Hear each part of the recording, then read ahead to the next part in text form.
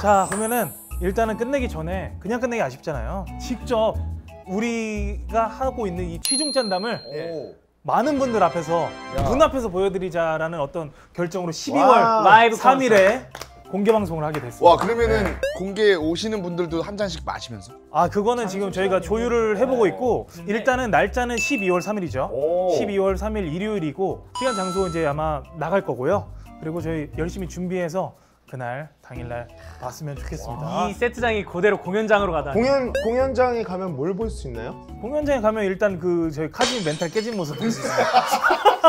근데 그건 정말 재밌을 거야. 하진 형 멘탈 깨지는 모습. 그치, 그치. 현민 형 스트립 쇼. 스트립처럼 뭐야? 여러분들 공연장 오시면 전철민의 과거 썰 다 풀어드릴게요 그냥. 그때 음악도 하나요? 우리 가가지고. 노래하죠. 아, 노래. 그거는 이제 뭐 콘서트니까. 아, 거 그때는 이제 얘기보다는 콘서트 아 정말 잘 준비해서 잘 맞아요. 준비해서 즐거운 시간 만들어 봅시다. 진짜 우리 한번 재밌게 맞아요. 어 재밌게 한번 해보는 걸로. 공연장에서 만나요. 그러면 다 같이 마무리 취중. 짠!